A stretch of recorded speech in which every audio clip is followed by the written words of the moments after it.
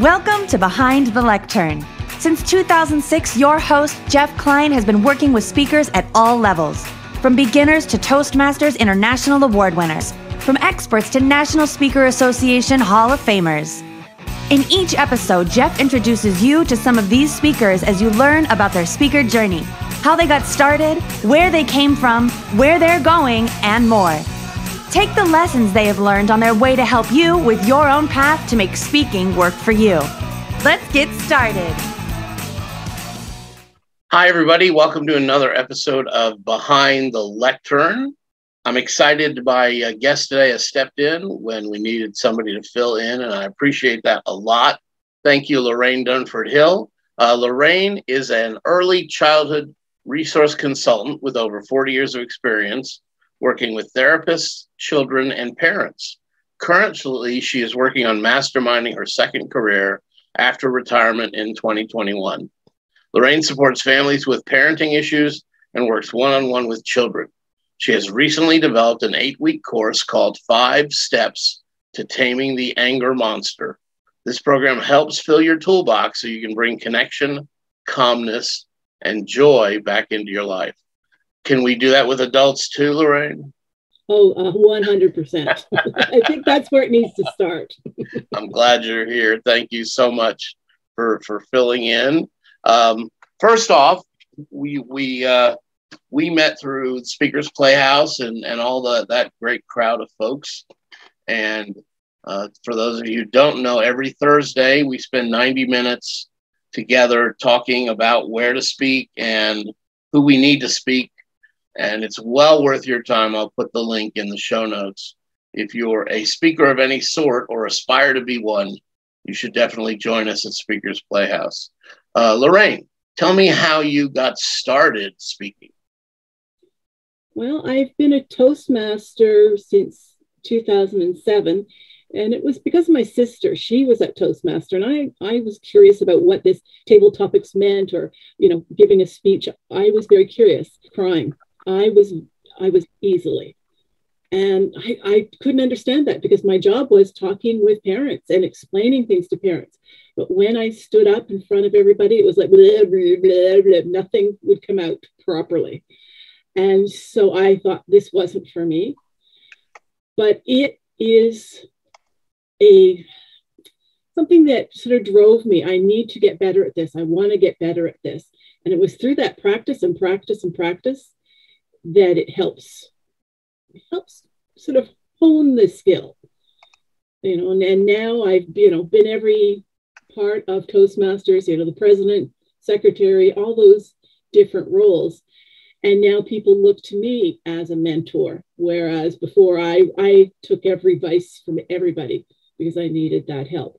And now i just love watching someone come in and they're just nervous and and tense and then by giving them a few little tips here and there and giving them feedback, it can change how they do things. And people have gone on to do much better things as they as they grow. That's great. So you discovered uh, well you were you were you had to speak inside your your current job. Mm-hmm. Yeah. And then you went to to get better at it and you did you start competing and doing some of the that stuff at Toastmasters? Yes, yeah, I did. Um, you know, the different speaking. We have you know doing humorous stories. We have sort of tall tales. You can do evaluations, and you can be Toast international Toastmaster. So all those things helped build skills. And also, what I've noticed I'm building more skills. I, even though I've been in it for a long time, the people that I meet on Speakers Playhouse, and for example, you, they're so good at giving information to other people. They're, they're not holding everything back, they are just giving you information.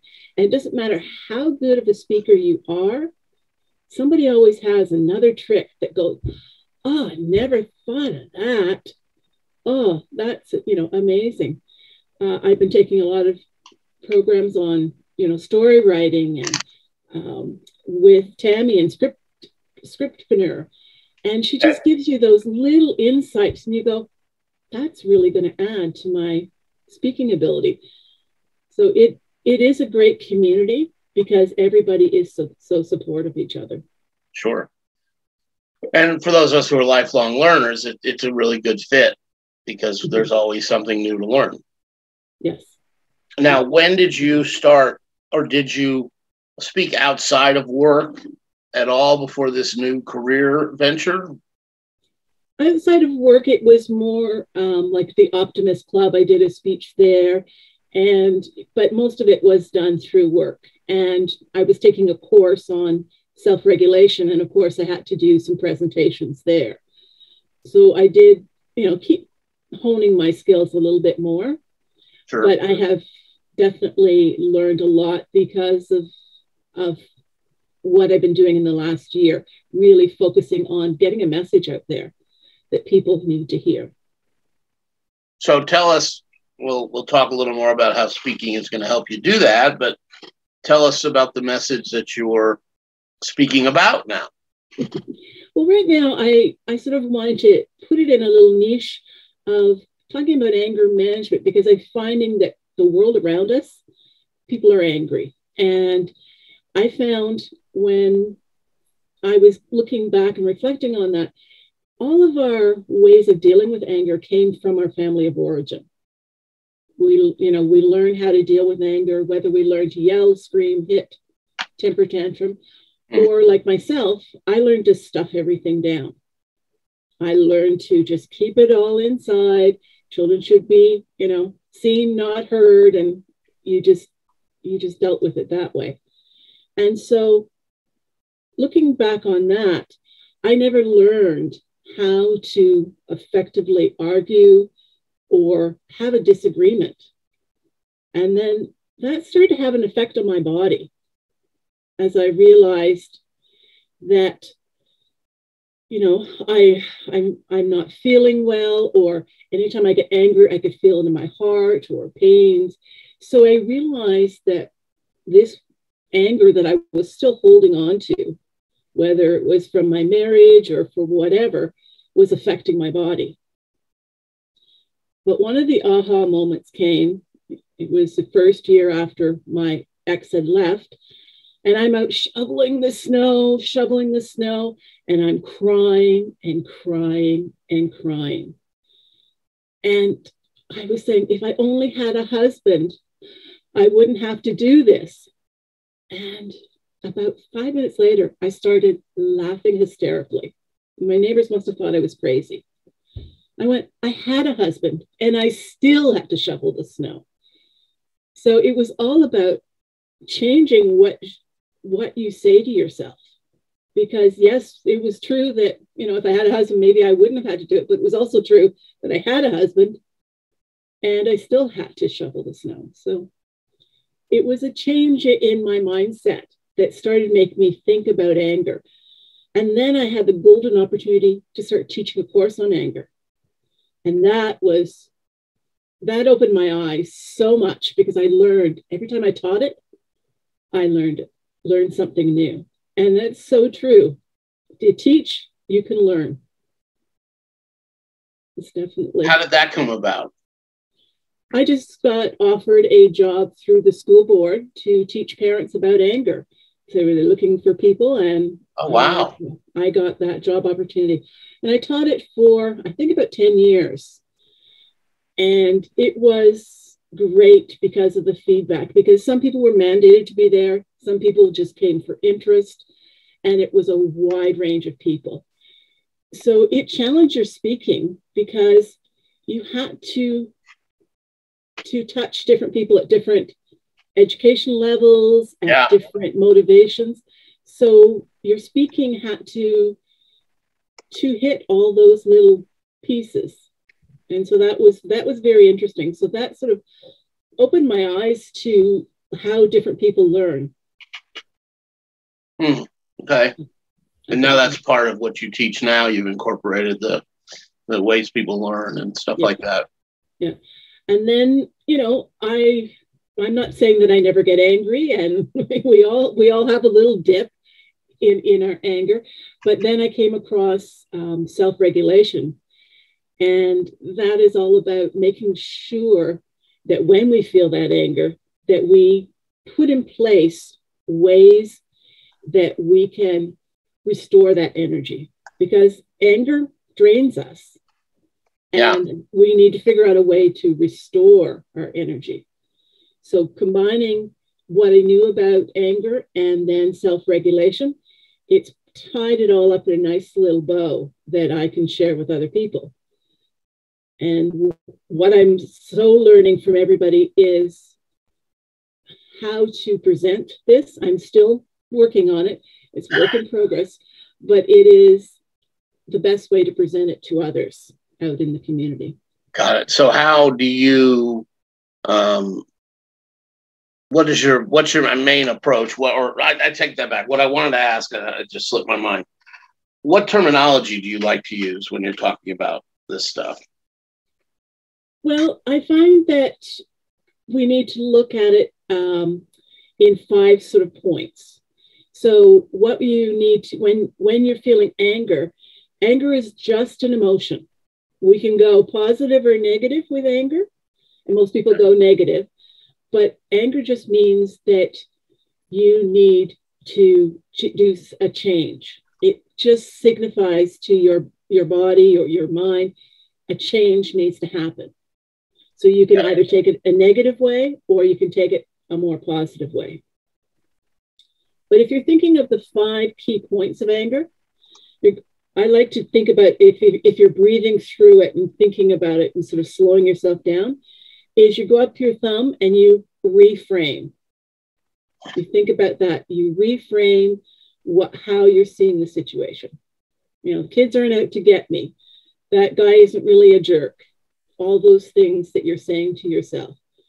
It's, you know, maybe they just don't have the skills to deal with that. And like I had to shovel snow anyway when I had a husband. Yeah. So just reframing, reframing everything that you're saying to yourself when when you feel that anger come on. And then you're going to see what's happening in your body. So you're going up the second finger and okay, my teeth are grinding, my jaw is tight, and take sort of an inventory of your body and then try and release that by understanding where you're feeling that tension. And then you're going to reduce that tension. You, and you can choose, okay, I can go for a walk. So you're going up to your third finger, you can go for a walk, I can listen to music, I can write in a journal, breathe, and then you're going down. And then your next hurdle is okay, why did that trigger me? What what was the reason for that? So you're sort of reflecting. You're okay, that's you know, because they did this or because they did that. That's why I was triggered. And then the last finger is restore. What am I going to do to get to that win win? How am I going to get rid of this anger and deal with it? And by preparing for conflict resolution, then you're going to be able to sort of breathe again. And get down the other side. So you're just sort of, if you just take the time to go and just walk through all those steps, you're going to come to a, a solution. Got it. Okay. So do you prefer conflict resolution as a terminology instead of anger management? Or are they, this, are they the same thing or just related?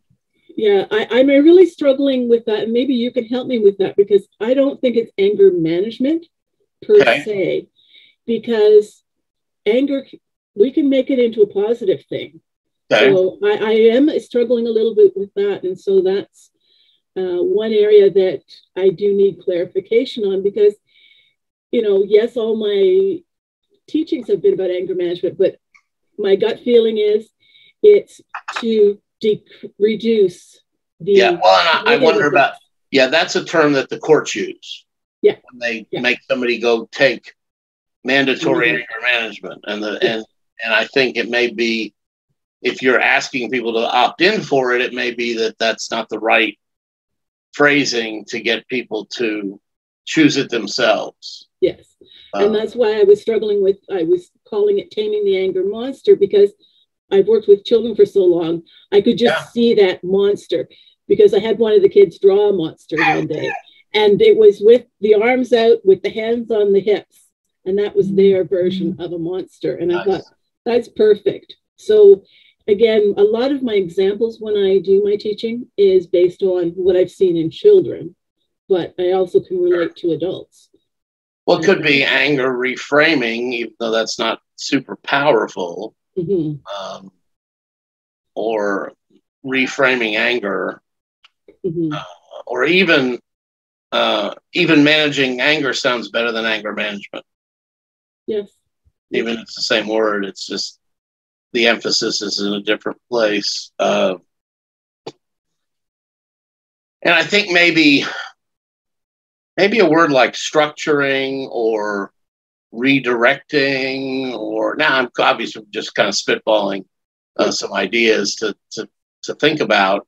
And for those of you listening or watching this podcast, if something strikes you and you go, "That's it, that's the one," send uh, send Lorraine a message.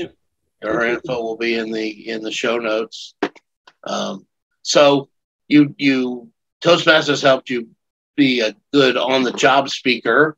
You Mhm. spoke a lot to get better on the job and at Toastmasters. You did one or two outside talks. Was that like through the Toastmaster Speaker Bureau? Um, sometimes, yeah, and sometimes it was just you know somebody asked me to do asked, something. yeah. Uh, and then last, then 2021, it's time to reinvent Lorraine, and Mhm. speaking is a major part of it. Yes, yeah, and getting my story out and and just figure figuring out a new career in life. You know, Sure. I- you know, I've got forty years of information, you know, packed away in this head, and I need need to share that. Yeah, absolutely. And so I, I thought, sorry. go ahead. No, you go ahead. I find that with Speakers Playhouse um, or anything like even the Speakers Co op, it is that sounding board that you need. Because you may have this idea and it sounds like a great idea to you, but until it comes out of your mouth and somebody else hears it, it really affects the way you know your your message comes Sure. across. So And and I think that you know, looking back at the title, the anger monster, I think I think that's pretty good. I mean, taming the anger monster. I think you, there's a lot to lot to work with there, and it's not age specific. It's friend. It's friendly language for kids, but it's not. Un, it doesn't alienate adults. No. No. Uh, and sometimes when we're when we're marketing to children, we use language that doesn't work for adults. But I, I, I think the five steps to taming the anger monster. Now, I might and uh, I might consider a different word besides steps. You know, may, maybe because steps implies you that you go from one to the other to the other, Mm. and it may be that you can do it the job with just one of the steps. Is that am I is that accurate? Is it five ways, or do you need Um, to do all five steps and build into that? I almost think it is steps because you Okay. have to to go through everything to be able to negotiate. Because if you, well, you could, I guess, if you could stop at the first one, well, I don't care. You know, Right. refrain, But if- I don't But care. if you need one before two, and and all five is the best way to to to, to make everything work, then you do call then steps is the right is the Mhm. right right noun. Yeah. So Yeah. so never mind. but again, it it is hearing it, and I might go back and go, yeah, he was right, and I think it's it's that reflection. It you know it's with anything that we do, with the anger, with our speaking abilities, it's going back and reflecting. Oh, that I, that was interesting that that caught his attention, or oh, I wonder why that didn't fly with him. So I think that when we're on our speaking journey, it is a a good way. I you know practice, practice, practice. They say Sure. but having people sounding back to you is going to help you in the long run. Now you work with people in groups and individually. Yes, yes. Are and you when I first started doing the anger course, I did it one on one with someone. The next time I did it, I did it as um, I videotaped everything and then just sent the person the videos. And then the last time, the last session was one on one. And she went, Ooh, I like the one on one better than just reading the videos. It was definitely a difference. Hmm. Yeah. That's interesting. So, what are your plans for speaking now? Well, I would like to do some speaking engagements. I want to get some words out there and I want to connect with my network. So it has been difficult because I work with day used to work with daycares and childcare. And of course, parents can't come into the centers anymore. So there's not the connection that there used to be. So I have to think differently about how I'm going to connect.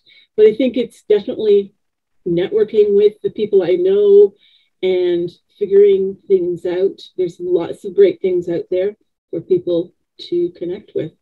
So I think that, you know, just putting my name out there, feeling confident about networking and believing that I have something to share, but other people have things to share. Like sure. I would have no problem, you know, telling people, oh, go to Jeff. He's got some great ideas. And I think that as we network like that, we are able to expand more because we we are helping each other. Um, so what's next? What what's the? Uh, I mean, we talked a little bit about the current plans. Actually, not what's next. Who do you want to be in front of? That's sorry. That's my next question. Okay, who would I want to be in front of? I think it's in front of anybody who is wanting information that and i think you know we, we're supposed to narrow it down but i feel that i can you know help parents i can help people who are just struggling you know i'm definitely not the type of person that can handle the person who's you know anger is you know sending them to jail or doing all those things that's not where i'm at i'm thinking of the you and me who who just want to understand anger better and be able to deal with it and being able to move forward. A more corporate than community, yeah. perhaps. Yeah. yeah. All right. And what, so the uh, civic organizations might be a good place, like the Optimist Club, like you mentioned. Mm-hmm. Um, the even the, the Chamber of Commerce might be a good place. Yeah. Uh, something else to consider is some is women's organizations mm-hmm. even like the w- women business organizations, because for every profession there's a women's and I, auxiliary is the wrong word, but there's a women's association. You know, the mm-hmm. the Women's Association of Realtors, the Women's Association of Engineers, and uh, lawyers and creatives, and I mean, what have you. That might be fertile ground for you mm-hmm. um, as far as the uh, the speak to get paid circuit. Yeah. Yeah, and there's parent, as you mentioned before to me about parenting groups and and making sure that I'm on those. Again, COVID is is limiting a lot of things because I I feel that if it wasn't COVID, I would be able to go and stop into these places. Sure, yeah, you can do, do the doors would have opened a little bit easier. Yeah, but um, doing it all virtually, it's it's trying to figure out how to get in front of those stages. Right, Right. And yeah, it just takes a little bit more work, a little bit more follow up for sure. Mm-hmm. Uh, and and meet up and Eventbrite, have you know some of the groups you want to be in front of are advertising themselves there. Some are doing it on on Facebook. What I've discovered, and again, I don't know, I'm not a I'm not a Facebook Facebook algorithm expert or anything, but I started liking some some groups and for example, I started liking Rotaries, but also messaging them, asking about, you know, do they have virtual speakers if they're not local, and if they're local, who's your who's your who's your speaker coordinator now? And and those that respond, I'm able to, you know, just to get in touch with and see what their speaking needs are. But also, more of them are showing up on my feed for me to mm-hmm. even though I haven't said that I like them. And what what I've done is I've used the the fact that I like them means that I've messaged them. Yeah. So I may not hear back, and I may see that I like the you know like the Rotary in Sydney, Australia, and I go to the message box and I messaged them three years ago and nobody responded, I go ahead and message them again, and then you know may or may not hear back from somebody. But the more rotaries I click like on, the more show up in my feed. So that may be something beneficial to you, and of course, beneficial to our listeners if they're looking to speak to that kind of group. Uh, and and you know this this podcast is about people's speaker journeys. Mm-hmm. Over at Speaker Co-op, we have events where we talk about you know the power of speaking at rotaries or how many what kind of groups you can speak at and, and that kind of education we offer through speakercoop.com whereas uh, we try to try to keep behind the lectern um, more pure i guess that's not the right word but i want i want behind the lectern to be about the guests not about the education i mm-hmm. offer and i want it to be about the guests and their speaker journey and the education they offer mm-hmm. uh, i've got so that there are, I'll, I'll, we can even put that in the show notes. There's plenty of, there's two opportunities every month to tap into the speaker co-op crowd. And so there's, you can hear, see one of my roommates and hear the other, but uh, yeah, there's the other one. Uh, eight years so old cute. and one years, one year, well, or maybe a year and a half by now. So, well, they keep you in line. They do keep me in line for sure, for sure. I definitely think that anybody who wants to be a speaker needs to reach out either to an organization, to the Speakers Co op, or any place where they can practice, where they can get information, and they can put themselves in front of the right audience. Because we, everybody wants to hear a good speaker. It you know that's what they're there for they don't want to be bored they don't want to you know waste their time so the better we can hone our skills the more we're going to be able to be in front of more people that's great advice and spot on you know whatever it is you're looking to be better at you need to seek people who are already doing it mm-hmm. um, that also goes to that old quote about being this if you're the smartest person in the room you're in the wrong room um, but uh, yes, so uh, and and speaker speaker co-op can be a, a clearinghouse for places. We have some resource pages there at speakercoop.com. so people can find other groups like Speakers Playhouse, which again is it'll be in the show notes for this episode because uh, we brought it up and we try to keep keep everything uh, accurate and helpful for those of you who are finding us through the podcast world. Uh, what, what are there any questions, Lorraine, that I should have asked that I didn't? I, I think you were um, you asked some good questions to make me think about where I'm going because this is fairly new to me to branch out on my own, to be sort of that entrepreneur. Yes, you know, doing presenting in front of my coworkers, that's not a problem because I know the information like that. They're a captive captive audience in one sense too, because they have to be there. Right. But it's now finding my audience that really needs needs to hear and wants to hear That's my great. message. That's great. Well, so if you want to reach Lorraine, what's the best way to do it? You can reach me by email at tamingtheangermonster at gmail.com. Okay. Or with um, more from the parenting aspect, mychildisspecial.ca is my website. Have you tried to get the uh, angermonster.com? Um, I tried to get, I think I, my sister and I are working on that. Okay. To try and get that one.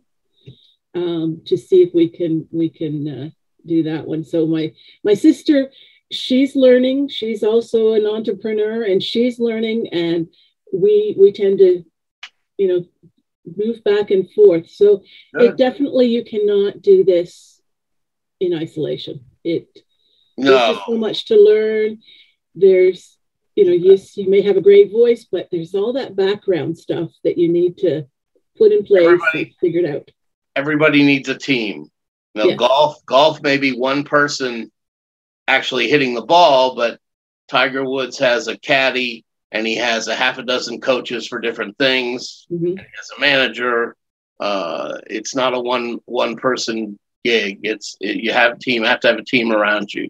Yeah. Uh, you know, no nobody made it. nobody made it on their own. They all had some or somebody behind them, or usually several somebodies behind them. They just got to be the name that that that uh, everybody knows. Uh, like most of us didn't hear of any of the guys Bill Gates worked with until later, uh, and uh, but and Steve Jobs and all the all those guys they they didn't do it alone. No. Uh, they had they had team, they had people supporting them. So that's good, very good advice, Lorraine. Thank you for that. Uh, so I think I think we've we've covered some good ground today, and I appreciate you being willing to go from a member of our live studio audience to our featured guest this week. You And just never know what's going to happen. Just show Hey. up. like our friend Kimberly Crow says, if somebody hands you a microphone, you say Yes. All right. Well, thank you again. Uh, we'll put you. Info in the show notes. Taming the anger monster at gmail.com to book Lorraine to come speak for your group and to be on your podcast. Please reach out to her for that. And this is Jeff Klein with Behind the Lectern and speakercoop.com. We'll see you next time.